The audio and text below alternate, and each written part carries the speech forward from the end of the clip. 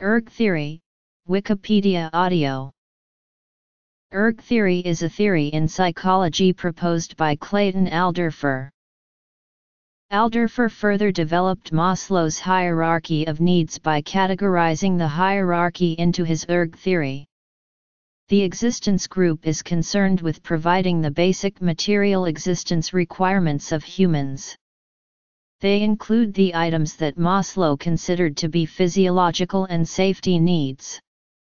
The second group of needs is those of relatedness the desire people have for maintaining important interpersonal relationships.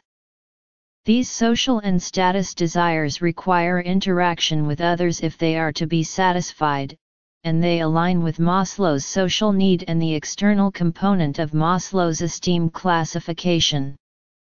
Finally, Alderfer isolates growth needs, an intrinsic desire for personal development. These include the intrinsic component from Maslow's esteem category and the characteristics included under self-actualization. Alderfer categorized the lower order needs into the existence category.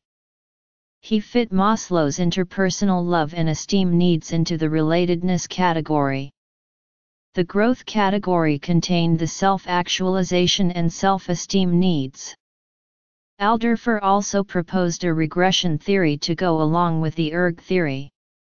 He said that when needs in a higher category are not met then individuals redouble the efforts invested in a lower category need. For example if self-actualization or self-esteem is not met then individuals will invest more effort in the relatedness category in the hopes of achieving the higher need.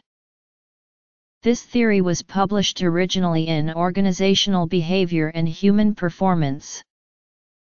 Publication